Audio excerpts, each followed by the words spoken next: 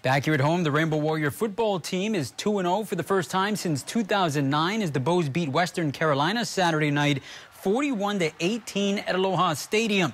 Led behind the legs of Diocemy Saint Juste, DSJ became the first player in program history to post multiple 200 plus yard rushing games in his career, while special teams blocked three kicks and returned one for a score. However, sign of a good team is the need to self-evaluate and having allowed nearly 500 yards of offense with over 100 yards in penalties, Bows are far from content with the performance.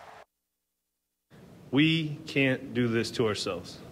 We can talk about special teams, we can talk about substitution errors, we can talk about uh, 11 penalties.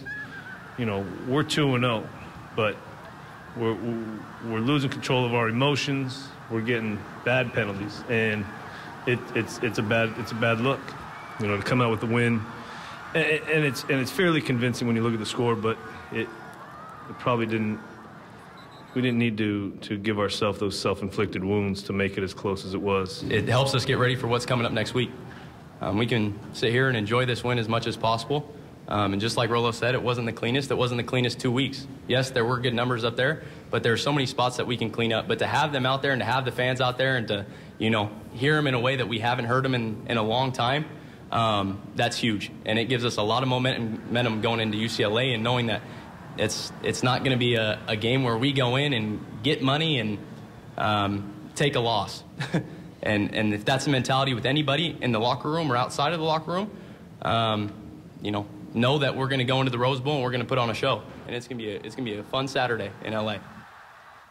As mentioned, up next, a big one at the Rose Bowl against UCLA. UH 0-2 all time against the Bruins, but those games came in the 1930s. Now, speaking of the blue and gold, UCLA kicked off their 2017 schedule today against Texas A&M, and the Bruins were incredible, pulling off the second biggest comeback in FBS history. Quarterback Josh Rosen battered in the first half. His team trailed 44 to 10 in the third quarter, but check this.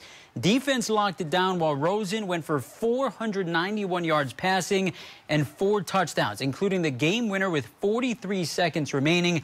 45-44 was the final kickoff between the Bows and Bruins. Saturday, 11 a.m. Hawaii time, and that will be televised on the Pac-12 network.